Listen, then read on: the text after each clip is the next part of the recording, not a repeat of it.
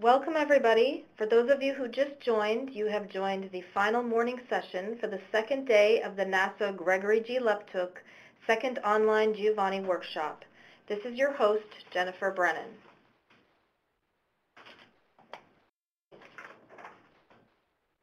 Our final speaker for this morning's session is Dr. John Lehrter, who is a research ecologist in the U.S. Environmental Protection Agency's Office of Research and Development. John? Thank you, Jennifer. Um, yes, I'll be telling you today about some work that, that we've been doing really um, over the last decade. And it addresses uh, nutrient pollution, which is you know, one of the most pervasive water quality issues, uh, not only in the U.S., uh, but globally. Um, you know, nutrients affect aquatic ecosystems, uh, including lakes, rivers, and, and, the coastal ocean. And, and one of the bigger issues is our problems associated um, with how nutrients manifest in low dissolved oxygen concentrations or hypoxia.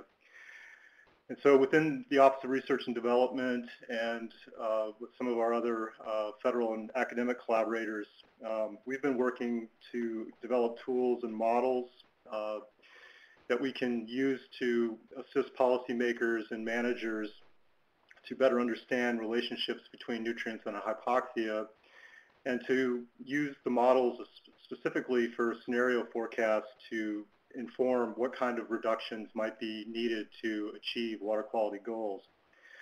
So today I'll be telling you about uh, a modeling application that we've developed and specifically for this audience how we've used the Giovanni uh, products as well as other remote sensing products to inform the models.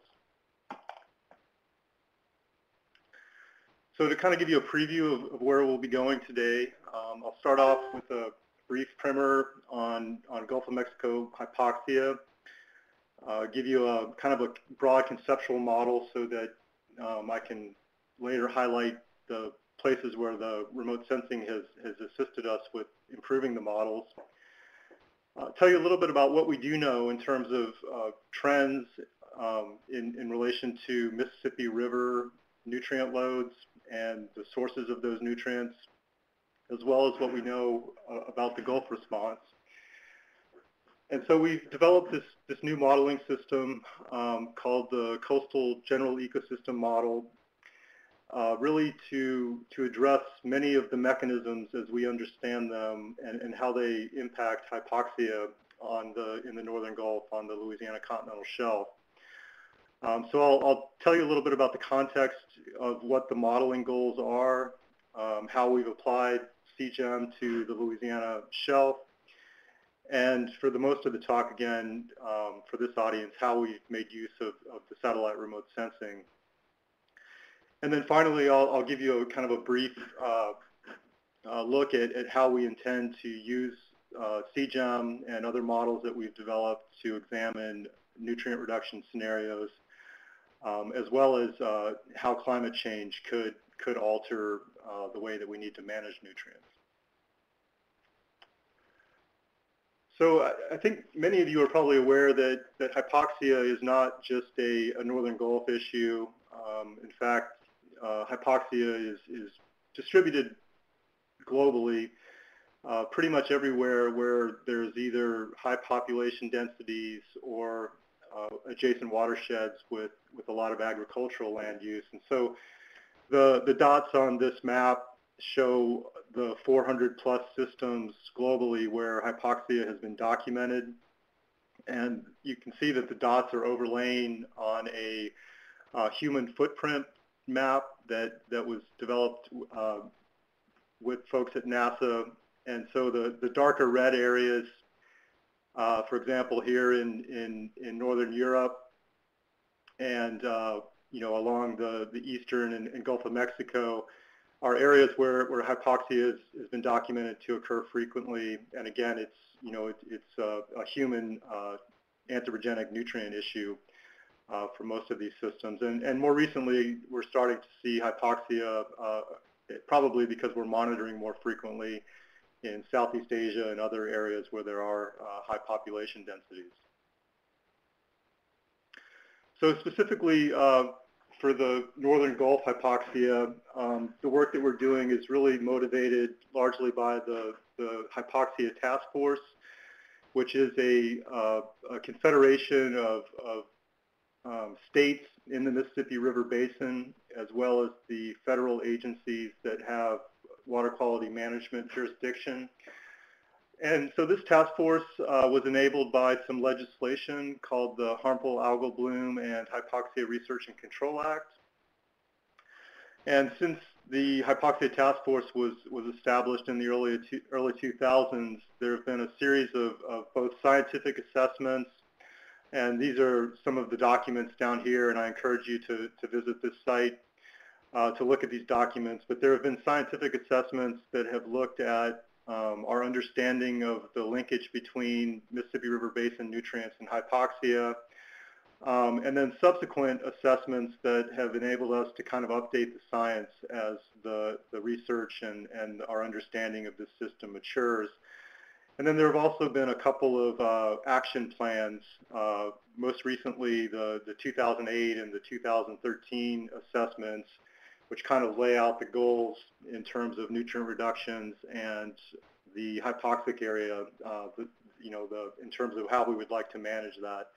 And so I'll be telling you about how our modeling uh, plays into that, those, those policy issues.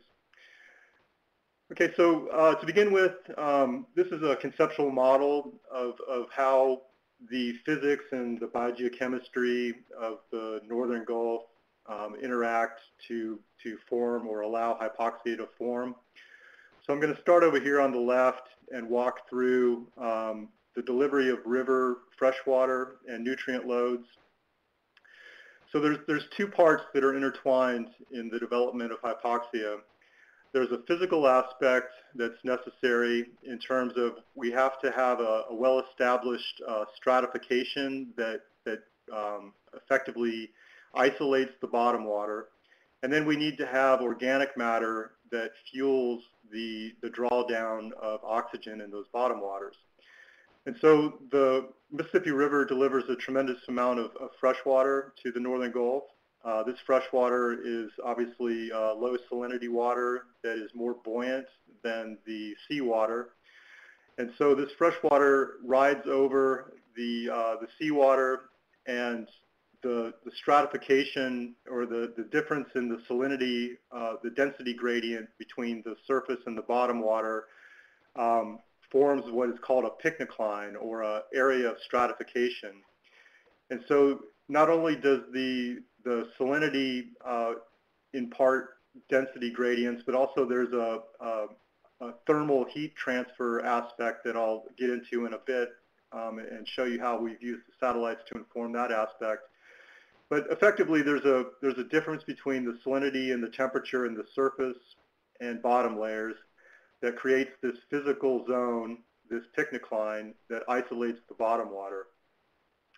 And then the second part, the second ingredient, I guess, that, that you need to get hypoxia is you need organic matter uh, to fuel the drawdown of oxygen. And so the river also delivers uh, a large load of nitrogen, phosphorus, uh, and other nutrients um, those nutrients then stimulate the lower trophic uh, level, um, just like adding you know, nutrients to your lawn. Um, the fertilizer stimulates the production of the phytoplankton. Uh, that phytoplankton then uh, creates organic matter, um, and that material then sinks to the bottom. And once it's in this bottom water layer that is now isolated from the surface, uh, the degradation of that organic matter um, draws down oxygen, and because there's no longer um, flux of oxygen from the surface, we can achieve low oxygen or hypoxia. Um, and sometimes this problem is referred to as the dead zone, and uh, you can see from uh, this poor critter here in this cartoon that uh, you know there is some mortality that's associated with hypoxia.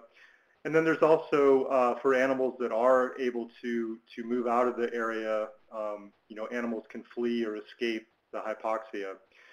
Um, so some other critical uh, aspects of the puzzle are, are light. Um, clearly light is needed for photosynthesis. So the degree to which light penetrates into the water column is, uh, is an important aspect that we deal with in our model. and also something else that uh, we've looked at with remote sensing data. And finally, the one of the other pieces that I'll talk about today is how we've used the remote sensing, uh, remotely sensed chlorophyll A data to really understand the spatial and temporal variability of phytoplankton biomass on the shelf. Um, so this is, you know, for those of you who are not from North America, uh, th this is the Mississippi River Basin. Um, it you know, it basically covers the, the middle section of the continental United States. Um, it, it is a world-class river system. It, you know, it's the third largest watershed in the world. Um, the, one of the longest rivers, actually the longest uh, river that flows from north to south, and it has a, a very large freshwater discharge. And a lot of the agricultural production in the United States is focused in the upper Mississippi River Basin, specifically uh, corn and soybeans are, are some of the dominant crops here. Um, and as a result of this agricultural land use, uh, there's been, you know, since the period when we have had data in the Mississippi River, it's been noticed or, or, or observed that there's been about a, you know, two and a half to threefold increase in riverine nitrate flux uh, from the 1950s up through the present. And uh, more recently, um, during the 2000s, the USGS has documented that, that river uh, nitrate fluxes are still increasing and that there's been about a 10% increase. So despite the, the efforts of the task force and the states in trying to reduce nitrogen and phosphorus uh, runoff, um, we're still kind of going in the wrong direction. So in terms of, of what do we need the model to, to address, uh, to inform policy um, and, and, management, um, the nutrient sources in the watershed, as I, as I mentioned, are, are predominantly agricultural, um, but we also have uh, urban uh, point sources, industrial point sources, atmospheric um, deposition, um, and so it's, it's really kind of a multimedia uh, air, land, and water problem. And we need to be able to have policies that, that, that look at and examine um, nutrient loading from all of these many sources and how they contribute to the ultimate load that's delivered to the Gulf. And so what, once the nutrient loads are, are delivered from the river into the Gulf, um, you know, clearly we're interested in hypoxia, and, and ultimately its impact on, on things that we care about, uh, you know, fisheries, recreation, ecosystem services, uh, you know, the kinds of issues that the general public is, is readily aware of. And so um, moving down to this lower graph then, you know, what the, the main goal that we're trying to inform with the, the modeling is a, is a goal that's related to the size of the hypoxic area.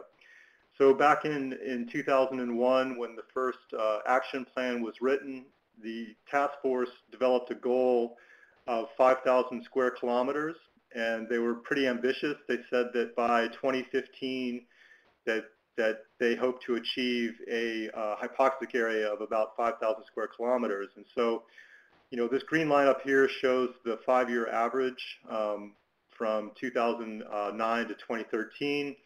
Um, and you can see that we're, we're still uh, well away from that goal. And because the, the goal specifically stated a date for next year, uh, the, the task force is now revising that goal. But ultimately, what we want to be able to model is we want to know what nutrient load reductions are required uh, to achieve this goal. And so we've developed uh, this new modeling system. Um, you know, clearly there are other models that are available, and there's a there's a large effort of academic and federal scientists, other people that are also involved in, in modeling this problem. Um, but we felt that there was a need to to update the the mechanisms and to provide a, a model that um, more accurately described the main features of, of what we perceive as the the biogeochemical uh, aspects driving hypoxia. And so uh, we have a, a, new model. It's called the Coastal General Ecosystem Model, or CGEM. Um, and so starting from the rivers, uh, it, it, receives the, the optical uh, things that affect uh, PAR, including suspended particulate matter, CDOM, um, as well as delivering nutrients that stimulate phytoplankton. Um, the model includes up to uh, six phytoplankton functional types, which gives us some flexibility in terms of uh, appropriately modeling the diatom community and, and other aspects of the phytoplankton community and how they respond to nutrients and, and seasonal variations. Uh, the model includes uh, two cl classes of zooplankton. All of these then contribute to organic matter that sinks to the bottom and consumes oxygen. And we've also included the CO2 system uh, because we would like to be able to examine the nexus between um, hypoxia and nutrient-enhanced uh, coastal acidification. And so kind of the, in terms of, uh, we now have the, our um, eutrophication models are, are here in the center on the, the left graphic. And this is just kind of the, the way that it's laid out spatially. We have the nutrient loads from the Mississippi River that are monitored by the U.S. Geological Survey, so we have very good observations of those inputs. And then we also, there are atmospheric loads that are deposited directly to the surface of the uh, Gulf of Mexico and I'll talk a little bit about how we've used Giovanni to, to uh, better represent those loads. So those feed into our eutrophication models. I've already mentioned CDOM. Uh, we also have another model that we use called the Gulf of Mexico Dissolved Oxygen Model, or GOMDOM. And the idea is to kind of use an ensemble modeling approach. Um, I won't specifically be talking about GOMDOM today, but uh, that is some work that's currently ongoing. And then from the shelf side, we have two physical models that, um, that we use to drive the eutrophication models. Uh, the upper animation over here shows the basin scale physical model, which is a uh, derivative of the Navy Coastal Ocean Model, uh, or NCOM.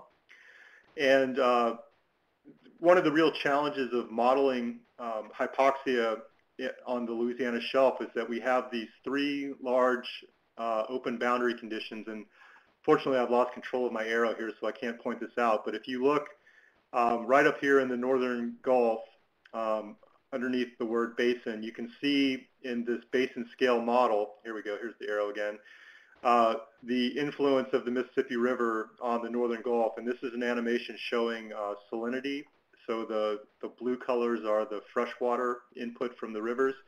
And then you can see all these dynamics out here that are associated with the loop current and uh, eddies that, that form in the northern Gulf. And so one of the aspects of getting hypoxia here that correct and, and the challenging aspects is, is, is describing these three open boundary conditions for our system. And so the hypoxia model is actually being run now in this Louisiana shelf uh, domain. And again, you can see the, the, the very dynamic uh, boundary areas. And, and this animation is also showing uh, salinity where the, the blue colors are freshwater uh, being loaded to the system. And so the two regions where freshwater comes in are mainly through Southwest Pass, through the lower part of the Mississippi River, and then through the Atchafalaya River, which is an offshoot of the, the main stem of the Mississippi. And uh, I just want to point out, I, I, won't have time to talk about it today, but the modeling work that we've done has really been informed by not only remote sensing, but a lot of observation-based uh, measurements. Um, in the 2000s, uh, we conducted uh, 12 different research cruises where we really focused on, on not only hydrographic measurements using CTD work, but a lot of uh, water and sediment uh, measurements that are important for hypoxia.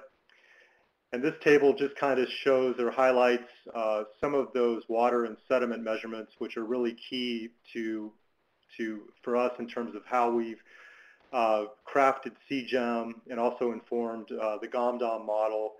Um, I think what really sets this modeling effort apart is that we've observed and measured a lot of these rates um, all of these data are, are reported in a, a, data report that we published last year, as well as um, many, many uh, publications in the peer-reviewed literature.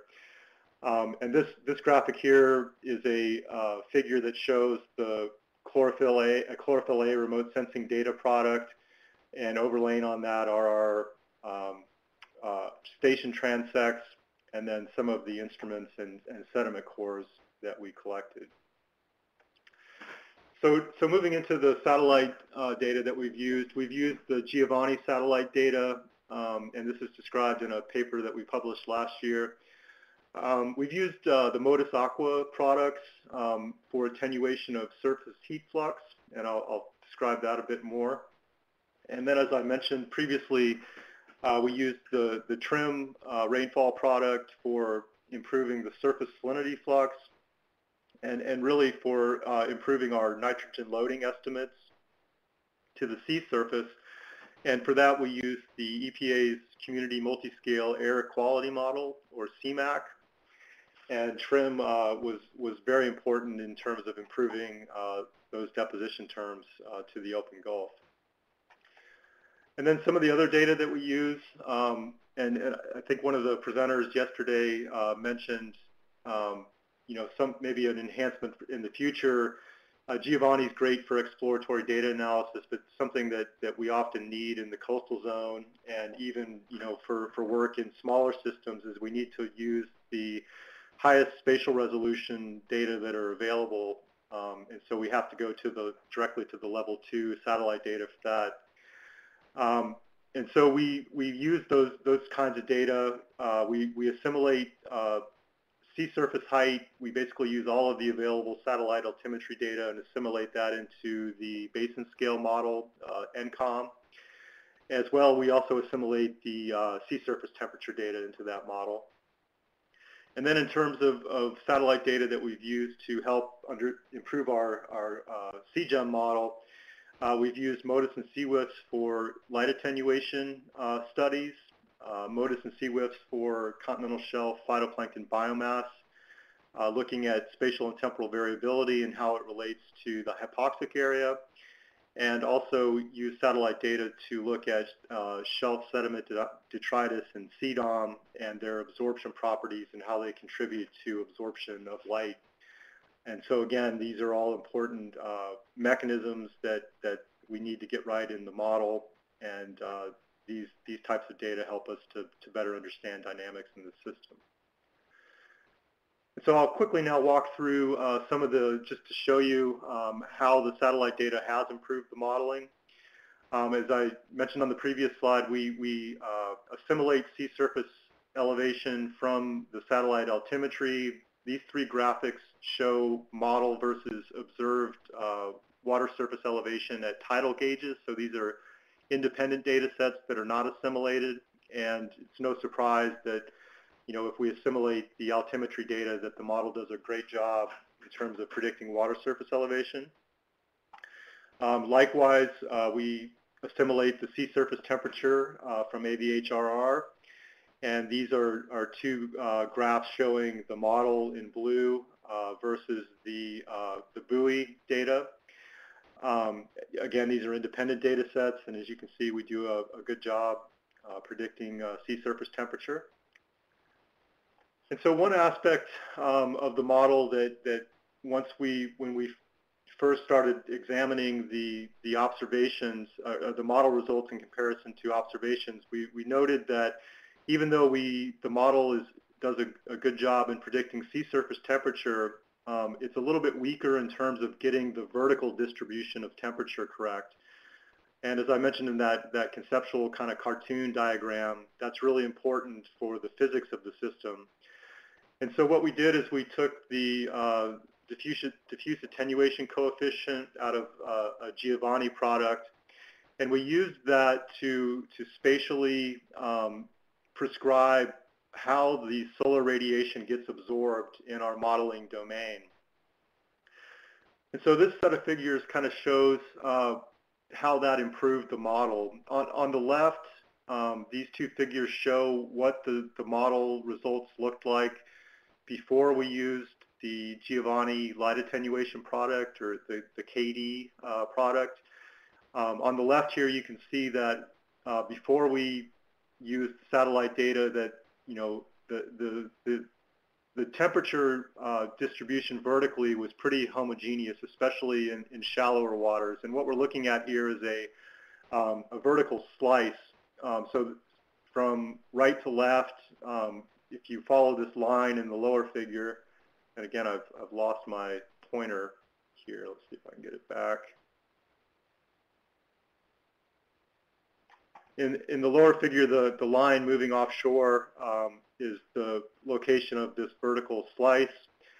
Um, and so on the y-axis is the depth, and along the x-axis in the top figure is the distance from shore.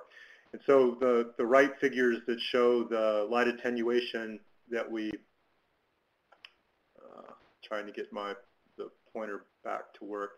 Okay, the um, so in the right figure on the top, you can see that once we used the satellite data, then we had a a, a much better uh, representation of the vertical profile of temperature. You can see that it's there's a much more distinct vertical stratification um, in, in after we use the, the satellite data. Um, another aspect of, of the Giovanni products that we used were the TRMM data that we use to improve the uh, CMAQ nitrogen loading deposition. And what CMAQ does is it takes all of the nitrogen emission data as shown in this figure here. Um, so it takes those emissions data. Um, those emissions then are, are uh, physically transported and, and, and, altered photochemically in the atmosphere. Um, and then as rainfall, um, and also there's also dry deposition in the model. The CMAQ model produces these nitrogen deposition maps. And one thing to note is that before we used the TRMM data to improve it, that out over the Gulf, um, so, so essentially over the continental U.S., CMAQ uses uh, gauging stations for rainfall. Um, and since there was limited information in the, in the over the open ocean, the model basically had a uniform uh, nitrogen loading to this system. So we used the TRMM uh, rainfall product, which gave us uh, spatially varying rainfall out over the open Gulf. And after we incorporated that, we now have spatially varying uh, nitrogen deposition uh, over the open Gulf.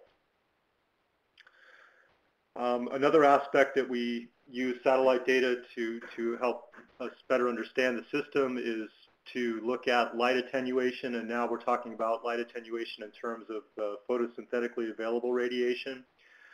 Um, this is a series of, of climatological uh, mean monthly um, showing the amount of PAR that actually penetrates all the way to, to the bottom, to the, the floor of, of the open Gulf. Uh, so here we see that uh, during the, the spring and, and, and summer that there's actually a lot of light that penetrates all the way through the water column that can drive photosynthesis. So this is really important in terms of making the model uh, represent this kind of dynamic. And then finally, I'll point out how we um, use the satellite data to improve our understanding of chlorophyll dynamics. I'm not going to get into it in too much detail. This paper was just published in JGR Oceans. Uh, but we developed a new chlorophyll A algorithm that, that greatly enhances our ability to understand spatial and temporal dynamics of chlorophyll on the shelf. Um, so we now have a 15-year time series of chlorophyll A, um, which is shown in this upper figure. And we can then look at relationships between freshwater discharge and freshwater delivery of nutrients and how they co-vary with the satellite data. And again, this is described in this paper. Um, and more specifically for hypoxia, um, the upper figure shows here how the correlation between the inner shelf and middle shelf chlorophyll A, uh, where the strongest correlation is with the hypoxic area. And so the hypoxic area is, is generally measured in, in uh, July. And so this just shows that uh, the strongest temporal correlation uh, with chlorophyll is, is in June and July, so the months uh, directly preceding when the hypoxic area is measured.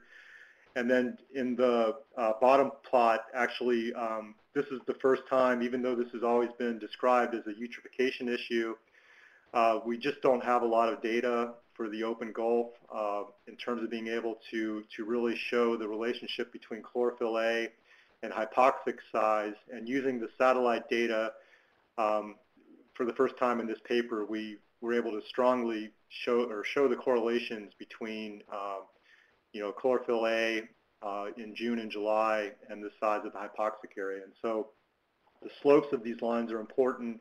And again, are, these are the kinds of things that we want the, the model to be able to reproduce.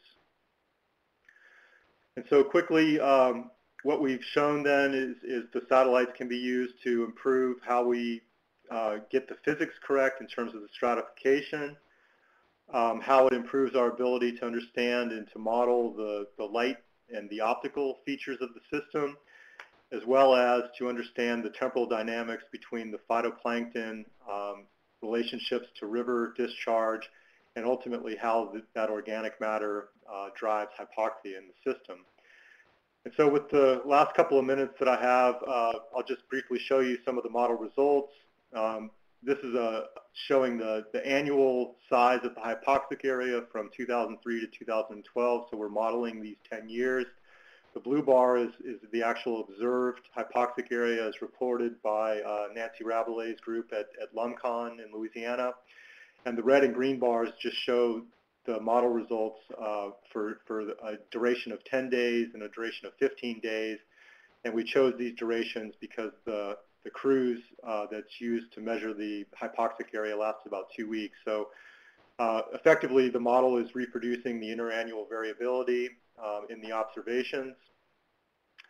And then some of the, the information that we can get from the models that we can't get from the current observations are things like duration of hypoxia. So this is showing from 2003 to 2010 the actual duration of hypoxia. Um, the color bar here out to this dark red is showing up to 30 days uh, duration. So the model gives us a, a new view of not only where hypoxia is occurring, but how long it occurs. And so this is important for the people like fisheries modelers and other folks that would like to begin looking more in detail in, in terms of how hypoxia affects uh, fisheries and other uh, aquatic resources.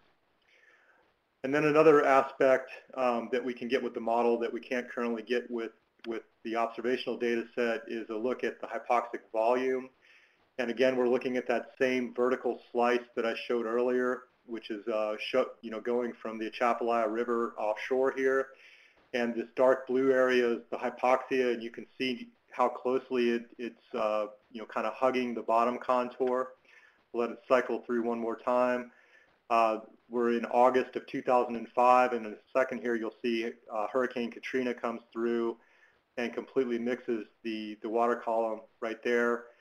Uh, so, you know, this gives us kind of a, a really unprecedented view um, in terms of using the model to, to really look at, at time, space, uh, and volume dynamics that we, we currently can't, can't do otherwise. And then finally, I'm running out of time here, so I'll, I'll go through this quickly. Um, you know, so we, we feel like we're pretty close to having a calibrated and validated model, and we're, we're starting to, to run nutrient scenarios. Um, what we'd like to look at is a business as usual scenario as well as some scenarios that would be, you know, looking at the nutrient reductions required to achieve that 5,000 square kilometer goal. Uh, so we have good information on fertilizer use and trends in use, and these data are from the U.S. Department of Agriculture. Uh, we know what the trends in population are, so we can kind of project out to, you know, 2050 and estimate, you know, what the fertilizer uh, application and, and potentially what the river loads would be in the future based on these trends. Um, we want to also look at climate scenarios. Uh, IPCC has given us some pretty good guidance regionally that we, you know we might expect um, a plus three degree or so increase in air temperature in the coming century. Um, it's also expected that there could be uh, increased river discharge and this graphic on the right shows that not only might there be an overall increase in discharge, but there could be changes in the timing of the river hydrograph. Um, and that could be critical in terms of hypoxia. And as I mentioned previously, we'd also like to look at this nexus between ocean acidification and eutrophication. And we published a paper a few years ago uh, describing the empirical basis for this based on observations, and we'd like to look at that in our model. Um, and so finally, I'd just like to conclude um, with some acknowledgments. I've really focused today on the remote sensing, but this whole model development aspect has been a large group effort that's involved a lot of offices in EPA, uh, colleagues at the Naval Research Laboratory, as well as other academic and federal collaborators not listed here. And if there's any questions, comments uh, that people would like to follow up with, uh, please please do contact me. Um, if you also would like to, to collaborate, we do plan to release the, the model code uh, sometime in the near future, um, and we have uh, various flavors of the model. We have 3D, 1D, uh, and, and, and simplified versions of the model. Um, so we'd be interested in, in, in, working with people who would like to use it. Um, or if you just would like to collaborate on a specific system where, it, where hypoxia occurs, we're, we're looking at expanding our modeling efforts uh, nationally as well as internationally. And so with that, I'd be happy to take any questions. Thank you.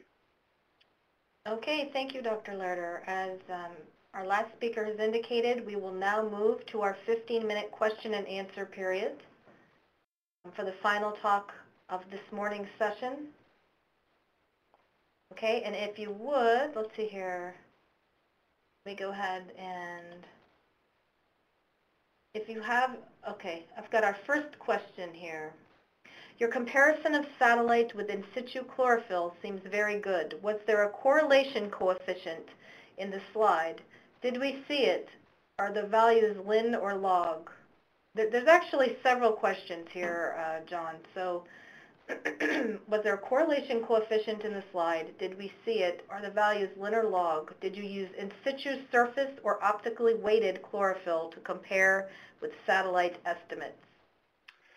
Yeah, I'm sorry. I, I, uh, I was running out of time there, so I kind of sped up there at the, the end. But yes, there there was uh, those were uh, log log log plots. Um, the uh, coefficient of determination for those were on the order of about uh, you know r squared values of about point, 0.5 to to uh, 0.6, and we used in situ data that were um, taken from about a meter depth um, uh, I'm trying to remember now. I can't. I think we had looked at, at optically weighting those, and they um, the the relationships weren't different whether they were optically weighted or we or whether we used the surface data. So in the publication, we ended up just going with the surface because we had more of those kinds of observations. Okay. Thank you. So the next question is, is euphotic depth any better as a parameter to use in models compared to K490?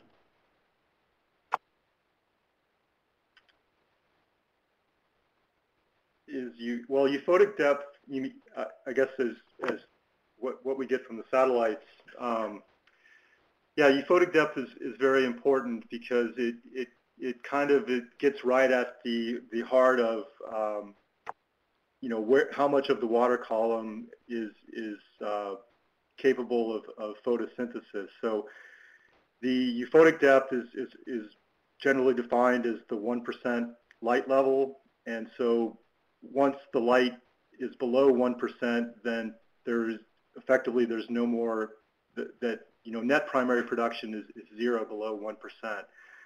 Um, so in the case of hypoxia, uh, the euphotic depth is important because if we have light that's penetrating all the way to the bottom, that means that we, you know, really need to have a model that is able to to photosynthesize or, or to allow photosynthesis to occur, um, you know, as as indicated by the observations. And, and one of the reasons that this is important for this system is that um, in the past we've relied on many kind of simplified models for this system that have just prescribed that below the pycnocline it was dark.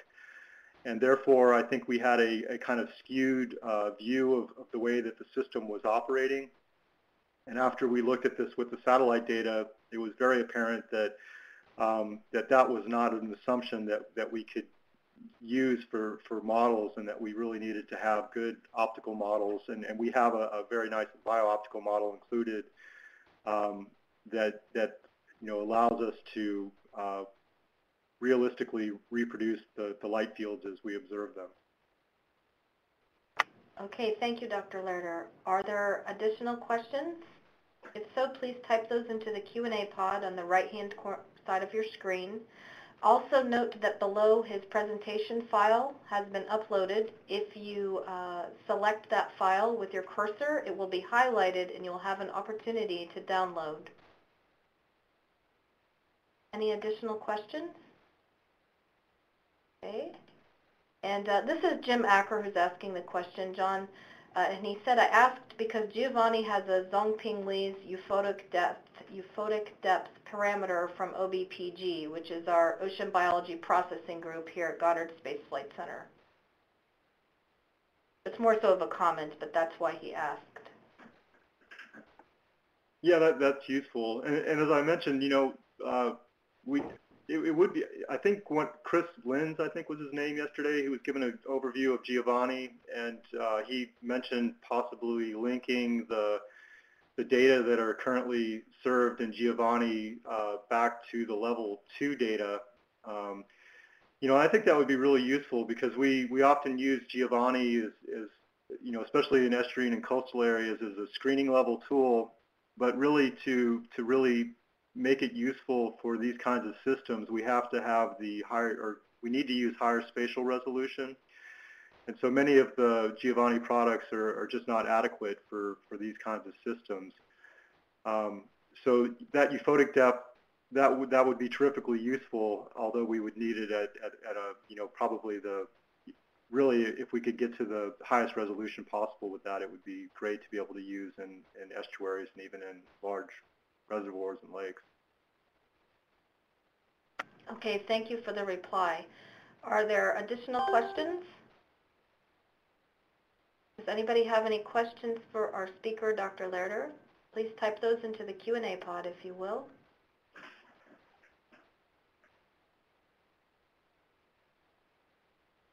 I'll give it just a, a, a few more minutes here. Um, after the 15-minute Q&A, we will actually be moving to our lunch break, which will be two hours long.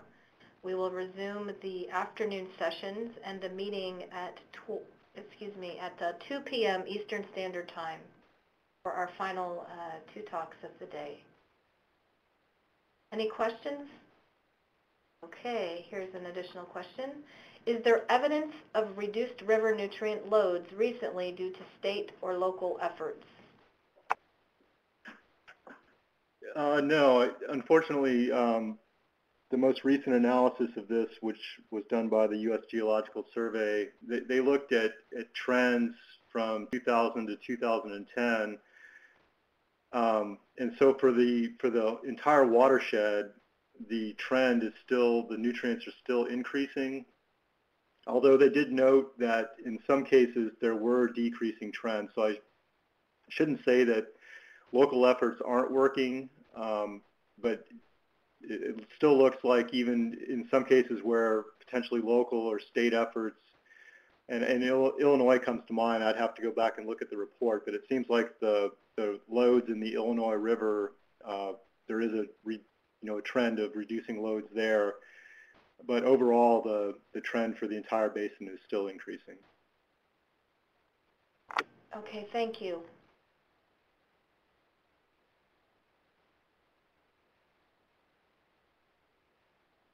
And uh, uh, Dr. Acker said, thank you. This is also important for the Chesapeake Bay.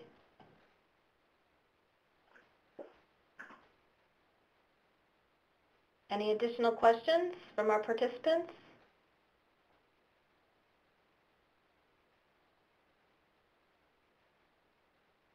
Well, I would like to thank all of you for joining us for this morning's sessions.